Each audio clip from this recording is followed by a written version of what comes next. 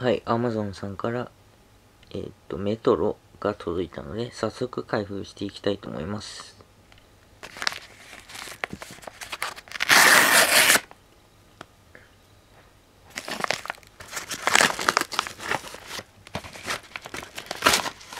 はい、こちらですね。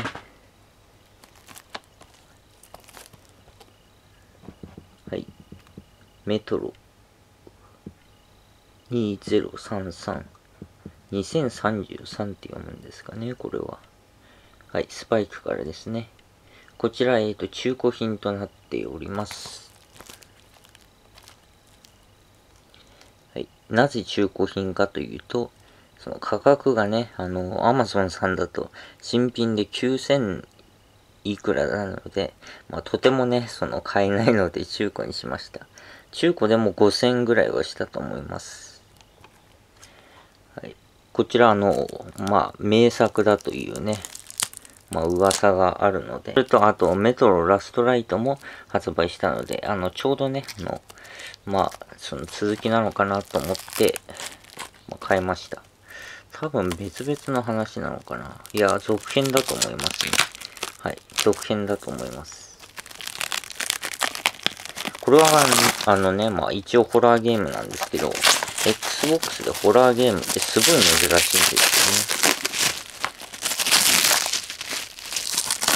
すごいなんかラップみたいなので包まれてますね。はい、取れました。これ原作があるゲームなんてすごい珍しいですよね。聞いたことありません。これあの小説からできた話ということでね。はい。ホールアウトに似てるのかな未来に恐怖せよということで。まあ、荒廃した、まあ、戦争とかでね、荒廃した街に、まあ、その地下で暮らせざるを得なかったということでね。まあ、放射線とかなのかな。それで多分地下に逃げ込んだのかなと思います。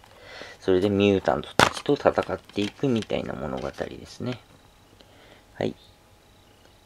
こちらがソフト。こちらが説明書です。はい。ペラッとめくっていきます。はい。こんな感じでしょうかね。はい。ということで、メトロ2033の開封でした。それでは、さよなら。